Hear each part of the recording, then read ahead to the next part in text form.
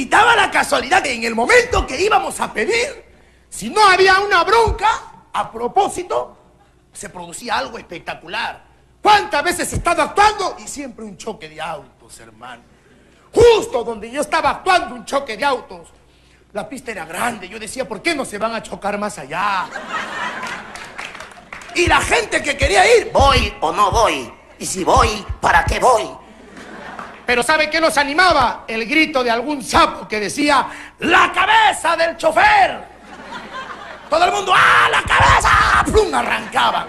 Yo parado solito como baboso ahí. Que me quedaba agarrar mis cosas, ir a ver la cabeza del chofer también. De verdad, hermano. Y ahora que estamos en la televisión, el trato es diferente. Vamos a un espectáculo, la gente paga su entrada. ¿Y quién se va a arrancar?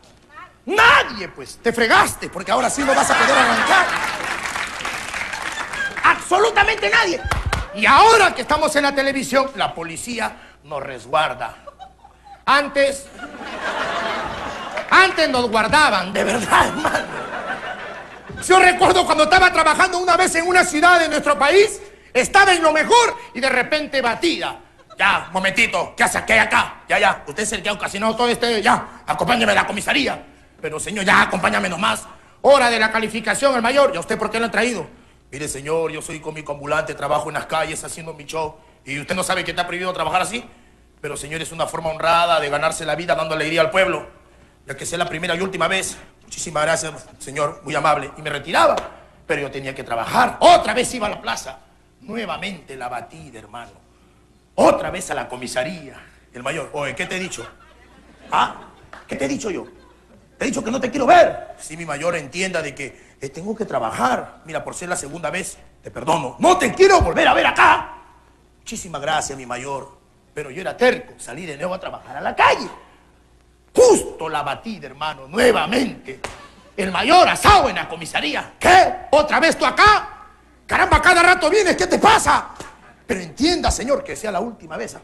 Me votó, otra vez salí a la calle, otra vez la batida, de nuevo a la comisaría. El mayor desesperado, otra vez tú acá. ¿Por qué no entiendes? Caramba, búscate otra comisaría, cada rato vienes acá. Ya no sé qué hacer contigo. Mayor, entienda, por favor, que sea la última vez. Otra vez salí a trabajar. Estoy actuando, le digo a los señores, avíseme si hay batida. Me fregaron nuevamente a la comisaría. El mayor no lo podía creer. Ya no sé qué hacer contigo. A cada rato vienes. Anoche te he soñado. No sé qué hacer contigo.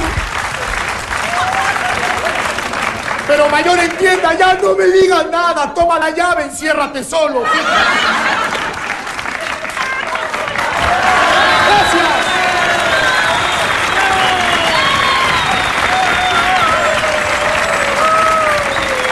Pero no solamente ha habido tristezas en las calles. Ahora saboreamos el éxito en la televisión y lo sabemos asumir con responsabilidad y humildad. Pero también así como ha habido tristezas, también ha habido alegrías. Yo recuerdo mucho un lugar del Perú donde mis amigos, muchos amigos míos me decían no vayas para allá porque es difícil. ¿Por qué? Porque los habitantes de ese lugar todos eran negritos, con respeto, con cariño, porque yo también soy negro. Todos eran negros. No, no vayas, es difícil. Pero era un reto para mí y me fui a trabajar allá, hermano. Y efectivamente, cuando junté mi ruedo, mi teatro se llenó de puro negro. Negro. Más parecía reencauchadora de llantas, hermano, de verdad. Menos mal que hoy día ha venido un parche, nada más.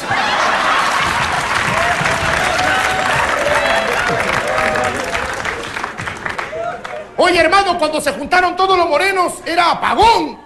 Y dije, muchachos, sonrían, por favor, quiero claridad. Todos me miraban serio, pero poco a poco me gané un lugar en el corazón de todos ellos. Y después de 40 minutos de show le dije, señores, ¿puedo pasar con mi gorro? Esa gente, no pases en gorra, pasen costalío. Qué linda gente. Toma un sol, toma dos soles, toma cinco, otros se metían de cabeza. A mí las lágrimas se me caían de emoción. Muchísimas gracias. Nunca lo voy a olvidar. Ve, lo llevaré siempre acá en mi corazón. Me comencé a ir, ¿no? comencé a retirarme, arrastrando mi costal de dinero. Y de repente veo cuatro negrazos a mi atrás. Yo dije, ahorita me cuadran. Yo pensé que eran cuatro. Solamente eran dos, sino que con la sombra me había equivocado. Yo me estaba yendo y me agarra un moreno. Oye, ¿a dónde vas? ¿Qué cosa crees tú? ¿Que nosotros te hemos venido a robar?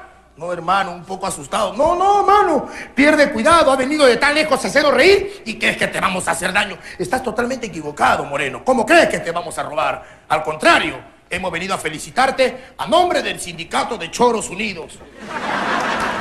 Y hemos venido a hacerte entrega de la chaveta de oro. Toma, hermano. ¡Qué lindo!